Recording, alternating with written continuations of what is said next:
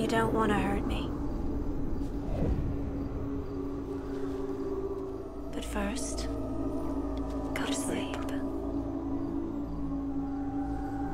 You need to sleep.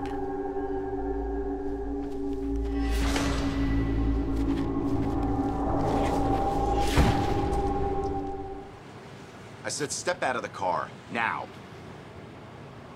I think you really want to eat some donuts.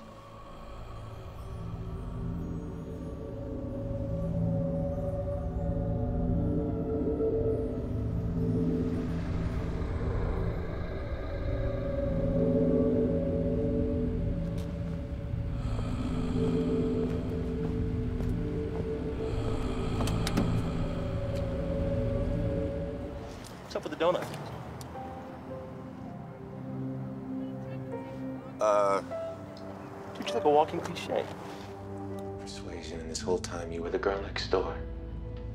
I'm gonna take this gun, and I'm gonna put it in that slot, and you're gonna take it, and you're gonna blow your brains out. You knew, didn't you?